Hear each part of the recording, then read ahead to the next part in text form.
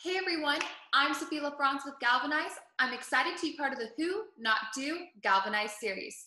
My interview is with Rachel Joy Baribeau. You may know her as the first female host for Sirius XM College Channels, a college football playoff host, a Heisman Trophy voter, and founder of the platform I'm Changing the Narrative. But in this interview, you get a behind the scenes look beyond the name. Late last year, you made the decision to retire as a sportscaster to focus on your platform changing the narrative. Given everything that's happening this year, was it the best time to make that change or the most challenging time to make that change? Woo, that is a good question. You just came out of the gate with the greatest question because it's the one that I have often asked myself. And as a believer, um, I have often looked up at God and said, are you sure, God? Are you sure you said October of 2019? Are you sure?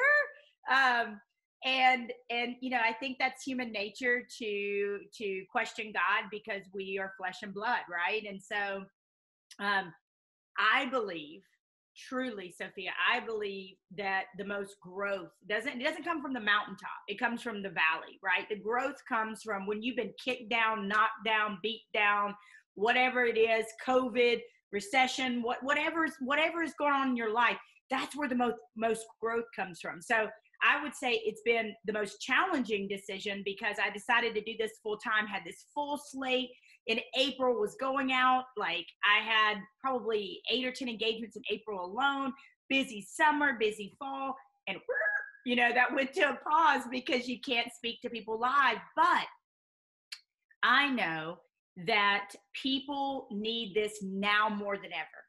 The stuff that we were talking about before interpersonal relationships, mental health, self care, self love, true purpose, finding what sets your soul on fire and running towards with everything they got all those things like breaking cycles of abuse, physical abuse, emotional abuse, substance abuse, all the things that we were focused on before, they've been heightened because of COVID, right? Like big time. So I know that I'm needed now more than ever faith plays such a major part of your life. And for me, I've been really leaning on God throughout this period of uncertainty.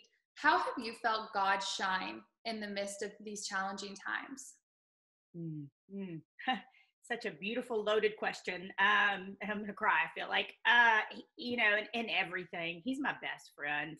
Um, and I, I, tell people this all the time. I said, it's not religion, it's a relationship. I get up in the morning talking to him. I'm talking to him in the middle of the day. He's my Abba father, my provider, my protector, my husband, my, you know, he's, he's just everything to me. And, and for me, I've seen him during the pandemic. I've seen him through people even more so, right? Like through the kindness of people, through, I lost my mom a, year ago this May, and she was my best friend and I've seen him in the circling of women around me who will never be my mother, but are shades of my mother.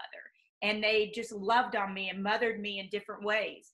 And I think I see him, I don't think, I know, I see him in the faces of my kings and queens and people I've touched that that come back and say, and it's it's oftentimes when just the moment where I'm getting discouraged, like, really, God, like I'm hitting a dead end here. What do I do? and then somebody will call or somebody will text or somebody will reach out and they'll say you changed my life i was never the same because of you and that to me is my go juice that's like everything i need to keep going I have a platform, Empowered to Succeed, and right now we're focusing on your metamorphosis, which is basically your transformation of accepting your authenticity. Was there a specific moment or moments in your life when you felt you had your metamorphosis in which you just fully embraced your authenticity? Um, ooh, that is good. That's a good one because I don't know. I know a lot of of young women um, deal with this because I started speaking to queens about a year and a half in, and what I tell queens is the world tells you you're not enough or that you're too much. You're you're you're too short, too tall, too skinny, too fat, too this, too that. And I'm here to tell you, you are enough, right? You are perfect just the way you are. I spent half my life um, trying to being told to tone down my Latina-ness, being told to tone, you know, wear more neutral colors, be less vivacious, be, you know, and and there was a moment, a girlfriend, I remember her name's Linda, and she said to me, um, she was like, no, be you, be you in all your glory, Rachel. The world needs you. And so um, growing up, and it wasn't my family, but people told you, you know, girls we often get bossy. You know, we get, um, uh, and I don't know why we're bossy when we talk a lot or we're demonstrative, and yet a male is those those traits are celebrated in him. But um, it was around that time, yeah, I said, "Wow, yeah, I'm I'm meant to be who I am in all my glory." So you said in an interview that if you die tomorrow in 30 years, you did not want to be remembered as being a Heisman voter. You wanted to be remembered by the legacy that you leave with the players and the athletes. You're changing the narrative. When did you understand the difference between who you are versus what you do? Mm. Mm.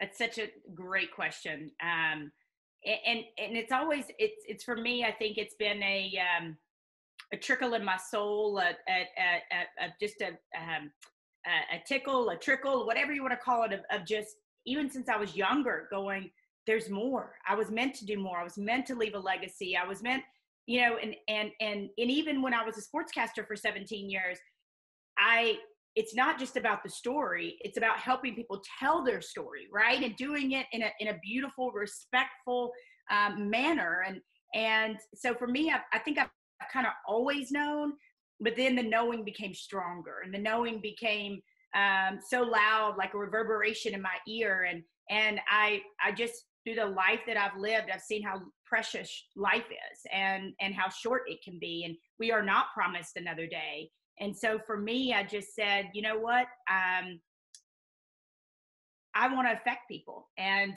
if i died tomorrow in 30 years as you mentioned I want people to say she she affected my life. She loved me. She poured into me.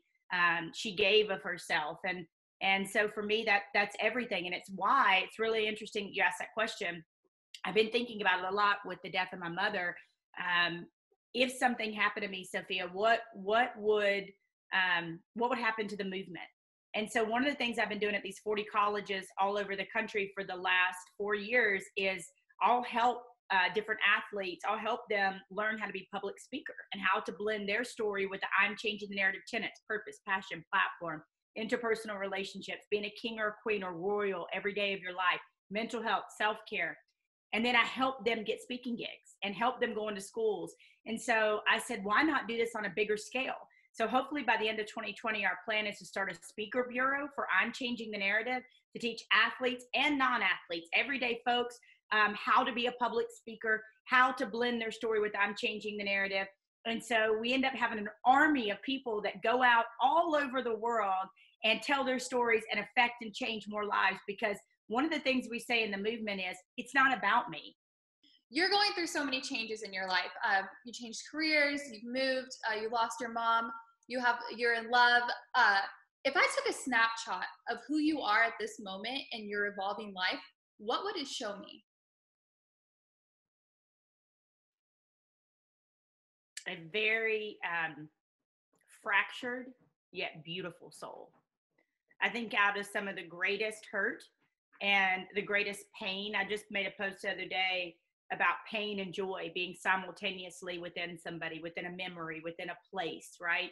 Um, I think those two things can live there, and I think they they have their their purpose. Each has their purpose. Um, I was just telling my fiance the other day. I, I said, you know, um, we were talking about, you know, well, you've changed. Well, yes, of course I've changed. You know, I I lost my mother, and I will never be the same. You know, to the day I leave this earth, and um, and I'll live with it every day.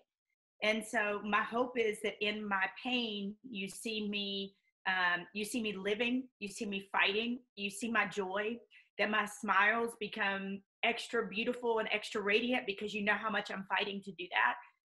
Um, so I think I finally come to this like this realization and this peace with myself that there's so many parts of me that I'm so deep um, and that I've known great loss. And because I've known great loss, um, it makes me my soul extraordinarily beautiful because in times of loss, instead of making it letting it make me bitter, it's made me better and uh, and for me i hope people see the warrior spirit in me. I hope people see my kindness and my joy. Well rachel joy Baribeau i am such a fan of what you do but now i'm even a bigger fan of who you are. Thank you so much for your time. Thank you so much